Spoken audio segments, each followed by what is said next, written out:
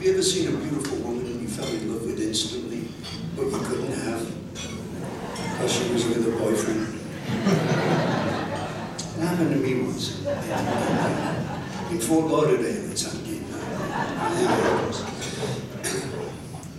And uh, she was insanely beautiful. She had beautiful suntan and she had beautiful earrings in her ear. And, and I loved it instantly. And there was nothing I could do about it. That pissed me off.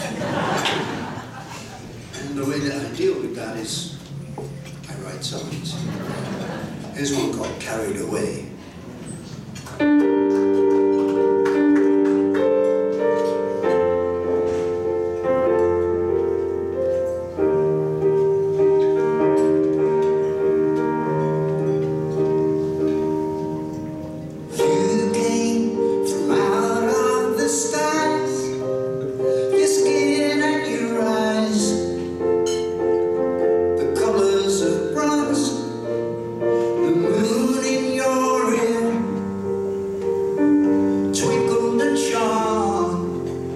você